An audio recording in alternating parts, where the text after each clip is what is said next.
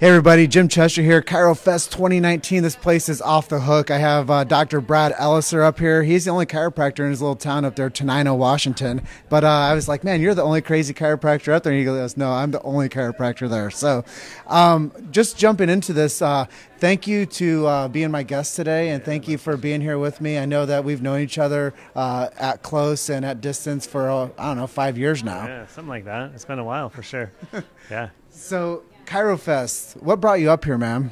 Um, well, I, I, love supporting the local Northwest uh, event, uh, chiropractic event for sure. So I've been here, well, I don't know, this is probably my fifth or sixth time making it here. I try to get it here every year. I've had a couple things in the middle, so I've missed a few of them. But I love to just get, uh, get in the community with the people from the Northwest, the people that come up here and share, get some new, new inspiration, some new ideas, and uh, so it's just fun. It's a fun time. I get to see people like yourself who I, you know I don't get to see all the time in person. So I yeah, love it. And you, actually, Brad was like probably the second or third person I saw when I showed up today. I had my hands full of gears and a backpack on, and I just ran over and gave you a big hug. Yeah. So it felt like I was coming back home. Anytime I come back to the Pacific Northwest, I want to make sure I'm here at ChiroFest. I want to make sure I'm supporting this beautiful profession of chiropractic, and I want to make sure I'm uh, connecting and building fellowship and doing these interviews because without these interviews, we don't get a chance to let this event live outside the four walls of this event. And so many people don't even know about what's happening in chiropractic. They don't know so go to the ChiroFest website and just look at the powerhouse that uh, Dr. Paul brings up to the stage and brings out to this this group of people up here in Vancouver, uh, Washington. But let's let's talk a little bit more about what we were discussing off camera, and that's like generational chiropractic. Mm-hmm. And and why are you so why are you so like going after educating the younger generation about what chiropractic is and living a chiropractic lifestyle? Well, you know, it's interesting because I never really intended to practice in a small town like I do. Um, I love living near there, but I was, you know, it's not too far from Olympia and then even not that far from some other bigger areas. But this is sort of what ended up happening through a number of circumstances, you know, some in my control, some outside in the last seven years. And so, but what's cool is that since I'm the only chiropractor in town, I see everybody. I, I have three generations. And one day we counted, we had one family where I was seeing five generations of them in my practice. Um, and it's like such an opportunity to see those changes over time. And so I think that that's really where it started. And I found that, uh, you know, in the education and in events like this, there's a lot of um, conversation about taking care of kids, which, you know, really resonated with me, especially once I had my own kids. I have three of them now. Um, because you know the, obviously they're our future and, and, those type of things. But what I also found, which was a total surprise, was I loved also taking care of uh, the elderly too. And there's a lot of older people in the town I practice in. And so it's really fun to be like multi generational, like you mentioned, and see the grandparents, the parents, the children, see them, you know, through now that I've been there seven years, I'm starting to see people, you know, who teenagers becoming, you know, adults, starting their own families and things like that. Um, and I think just being a parent and trying to figure it all out myself, you know, even though I, I was a chiropractor before I ever had kids, and you know interest in health and all these things it's like once you have this little person to take care of uh, completely you know they're relying on you you know you and your your spouse or who you know whoever you're parenting with it's like it becomes much more real. And so i just spent so much time and attention trying to learn how to do it as best i could with my own kids and then had other people asking me you know people in my practice like oh you know how do you how do you feed your kids right? How, there's so much information out there. How do you get them to eat healthy and all these type of things?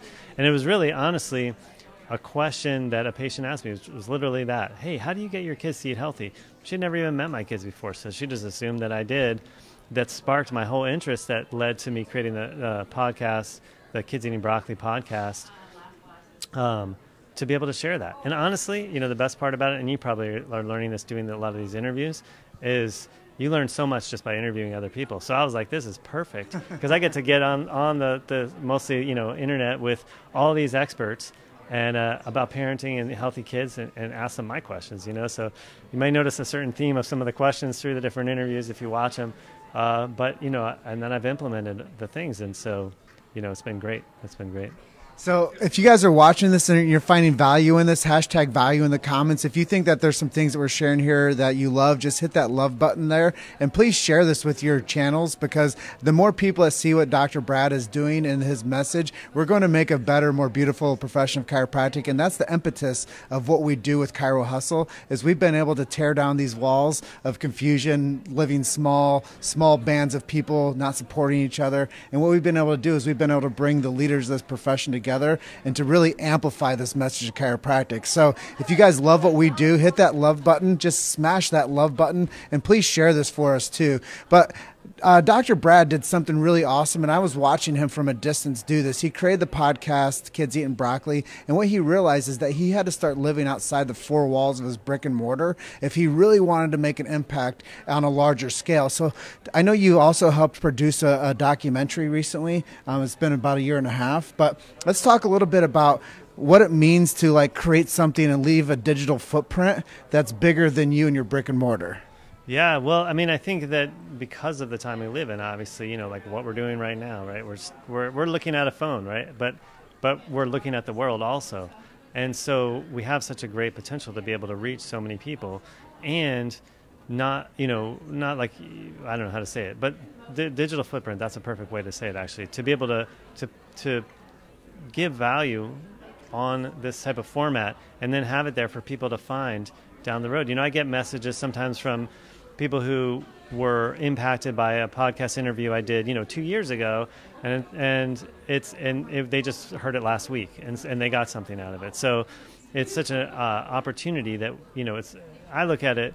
I mean, I don't know about the rest of you guys. You got to decide for yourself. But I, for me personally, I look at it like it's my responsibility in doing the things I'm doing with you know each individual person to be also to try to share that with as many people as who would find value in it. You know, it's like you if you know something and have something to give, then you know you want to give it in the best ways you can. So we live in such an amazing time that our little cell phones can broadcast to the world. So we should be doing it. And uh, and definitely, I, I appreciate so much you know watching you over these years of that I've known you and watched you online to I mean, I was looking forward. I knew you were going to be here. We had chatted on Facebook or some, somehow I knew you were going to be here. And I was like, oh, that's so great to see, you know, Jim do these interviews with everybody because, like, what a great way for people who aren't here to be able to be part of it and to leave that footprint. So, you know, I am here and I can't sit there and watch because I'm in there listening to the speakers, but I can go on Facebook later and, and catch out, you know, the value that you you know you bring out of the different people. So well, I awesome. appreciate you saying that, man. And as I've done this over time, with time and repetition, we become masters. Mm-hmm. And what I've done is I've watched back the five years of my progression of thinking that I knew the right message because I did at that point. Uh-huh. I knew exactly what I thought people needed to know. But now what I've realized is that with consistency and craftsmanship and building this relationship and building this family in chiropractic, now I understand that there's a bigger message. And it's not so much my message anymore. It's your message. Uh-huh. It's Pete's message. It's Paul's message. It's it's our it's our greater family. It's Monica's message. It's all these people that we have access to that people out there need need what we're doing. And a lot of times, as you said, the people that are at these events, they'll come up to me and they'll say, Thank you. Thank you for documenting the profession. Yeah. Thank you for pushing forward and meeting the people where they are and asking them those questions and sharing this because maybe I was injured and I couldn't make it to this event. Right. So I sat home and I felt like I was a part of the family because you did these interviews oh, and I didn't feel like I had to be there. If you need CEs, get here. and if you wanted to see like the, the, the heartbeat of this culture, you should be here. And I think that that's one of the things that we talk about too is the culture of chiropractic, the lifestyle, the four dimensional lifestyle, the generational idea of chiropractic, but also living outside of our four walls, which are brick and mortar, and creating this digital footprint that other people can learn from two years, five years, ten years, and the information is so rich and so ripe. You guys just have to tune into it. Totally, totally, yeah. What very well said. and, and, I was just thinking when you were saying, looking back on your uh, career of the five years of this growth, I just just flashed to some of the early Facebook videos I did, and and thinking like, oh my gosh, you know, like how did even anybody watch this stuff, right? You know, because I thought like I, I was doing my best at the time, but you know, you learn from doing it, and that's something that I hear from other you know chiropractors or other people who want to get their message out, but they're like, oh, you know, I can't do the Facebook lives, I can't get on the camera, and it's like, I couldn't either, I don't know. I mean, I haven't watched your early stuff, but I imagine it was a lot more, you know, bland or dry or, you know, less engaging. But that's how we do it. We just get out there and we start sharing from like what our message is and from our, you know, what's real for us. And you get better at it. Yeah, and early on, as I saw Brad doing his thing, I was always encouraging. I was always present. I was always watching. I was always tuning in. I was always saying, "Hey, man, good job." And that's the thing that we need when we start stepping out of our comfort zone. Is we need other people of like mind. We call them like and kind to jump in and then support support each other because we're only as strong as a team. And uh, I'll just give a quick analogy. There's these two draft horses. You've heard this probably, mm-hmm. where one draft horse can carry 20 or seven tons, and another draft horse by itself can carry another seven tons, and that equals 14 tons. But if you put two of us together and we're equally yoked, we can carry 28 tons or 21 tons. I don't know the exact things. I'm not a mathlete, but we can equiv- equivocally carry a third more when we move together. So it doesn't necessarily mean that we're carrying weight together, but we carry momentum, we carry energy, we carry fellowship, we carry friendship, we carry support. And the more that you give, the more that you get. So, Brad, I just want to say thank you for being on yeah. with me today. Thank you for uh, jumping on impromptu, uh, Chiro Hustle style. And I want to thank Local Gold for co branding uh, with me today. And if you guys need any web or marketing presence on the chiropractic scene, reach out to Natalie at Local Gold. But I'm going to go, I'm going to go ahead and close out. Is that okay? Yeah, great. Thanks. So, Paul Reed, thank you for bringing us all together here this weekend out here in the Pacific Northwest. I'm going to say you guys are just one story away. Keep hustling. We'll see you guys on the next interview. Love and appreciate you guys.